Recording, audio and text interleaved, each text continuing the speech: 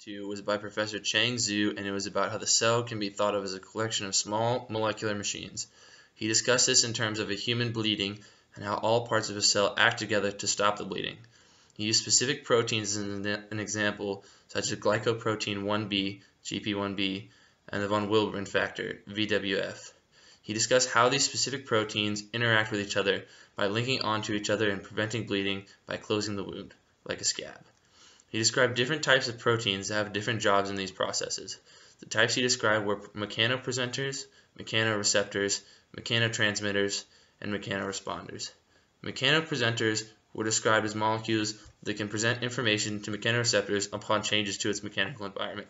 This means that when a human starts to bleed, the mechanopresenters relay information to the mechanoreceptors due to a change in the flow of blood. This is the first step in the process to stop bleeding. Mechanoreceptors are sensory receptors that respond to mechanical pressure or distortion. He also showed a video of one of these proteins reacting with the red blood cell.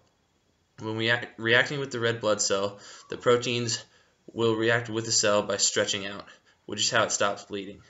It stretches out over a longer area and attaches to other proteins which link together and form a type of barrier preventing blood flow out of the cell.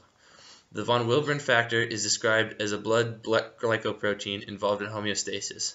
This protein reacts with other mechanopresenters to stop human's bleeding. One interesting thing I learned is that in some people, the von Willebrand factor has a defect that causes a problem with its reaction with mechanopresenters.